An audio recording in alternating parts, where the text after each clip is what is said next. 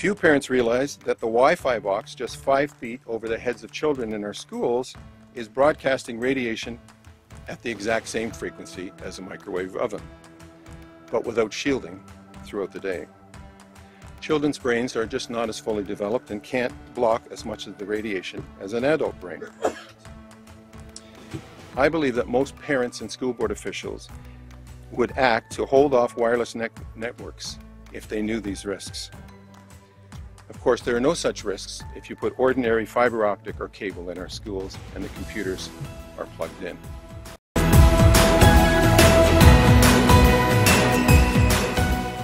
One place that switched off its Wi-Fi connection is Upper Sturt Primary School. Principal Barb Jones. There's not enough evidence um, that Wi-Fi is completely safe at this stage. Um, we haven't had it long enough. It was um, very difficult to find a school that uh, was Wi-Fi free. Tony Glab, mother to Alexander and Christina, was adamant she wanted to send her son to a Wi-Fi free zone after learning the World Health Organization classified it as a potential carcinogen.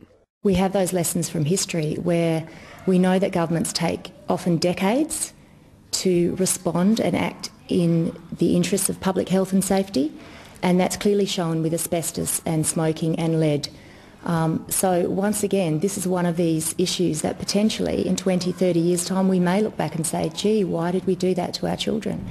Students still have the use of computers, but they're hardwired, which means no radioactivity is emitted. We wanted our children to understand that computers are a tool. They're not the first part of research. Um, they, or they don't have to be. It's an idea that countries like France, Russia, Italy, China and Switzerland implemented in schools, kindergartens and daycare centres years ago.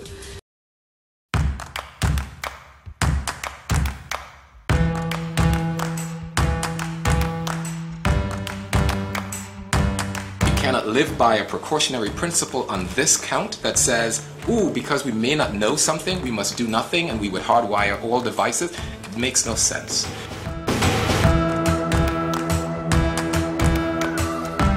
Given the risks involving children, the principal just doesn't want to take that risk. Whether this is true or not, the default, I think, needs to be on the side of safety. So it was very easy for me just to, to remove it. Ist, dass äh, Menschen dass den Menschen bewusst wird, dass wenn sie ein Mobiltelefon verwenden oder auch einen drahtlosen Anschluss, WLAN oder Wi-Fi oder auch schnurlose Telefone, dass sie sich Mikrowellenstrahlung aussetzen, aber nicht nur selbst, sondern auch ihre Familie, ihre Nachbarn und dass eine chronische Belastung zu einem erhöhten Risiko für bestimmte Erkrankungen führen kann. Das sind neurodegenerative Erkrankungen, denken Sie an Parkinson oder Alzheimer, und das sind auch Erkrankungen äh, wie etwa Hirntumoren und andere Erkrankungen. Das ist ein, ein ernstes Problem, das wir haben.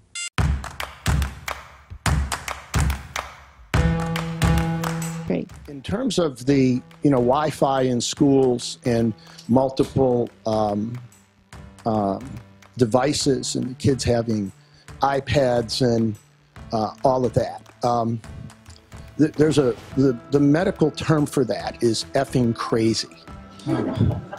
Okay, and there is no room in our schools for that. Um, and I think that uh, for the reasons that we have talked about here, the developing brain, you know, brain cells are differentiating in those young kids more than they're proliferating. There is just no way that we should be doing that to our kids. Uh, we can plug it in and it's fine. So um, uh, that's that's one one place where I think we have to draw the line.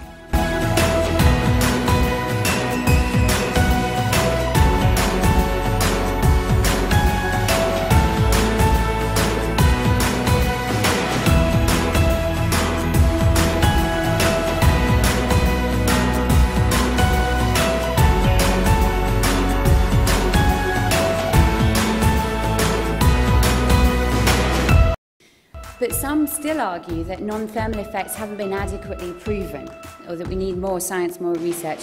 I would dispute that on the basis of this, that there are tens of thousands of research papers now.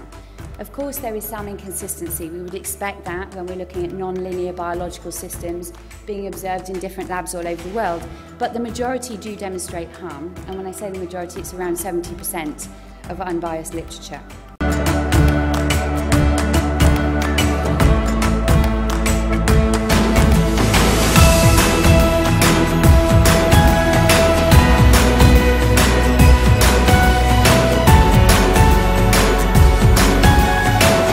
And uh, there is so much evidence that at least some people, if not everybody, is going to be adversely affected by the excessive radio frequency fields that you would have if you have a computer classroom where 20 kids or 30 kids are sitting on their wireless laptops generating a room just chock full of radio frequency radiation.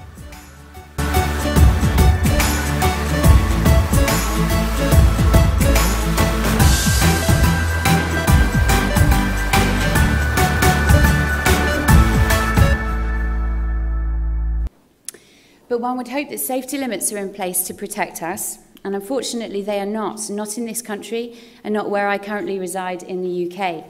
The reason I say that is because we're using something called the ICNIRP guidelines, and they were designed to protect against thermal effects only. That means tissue heating. We know that there are many non-thermal effects that, called, uh, that occur orders of magnitude below those levels. And don't take my word for that. This is uh, from the United States Environmental Protection Agency. The last line you'll see states the generalization by many that the guidelines protect human beings by harm uh, from all or any mechanisms is not justified. So many countries have lowered their guidelines to try to be more biologically protective. And even in these countries, those very low limits are still being criticized as not being low enough because there is scientific evidence of effects even below those levels, which are much lower than ours in the UK and here in the US.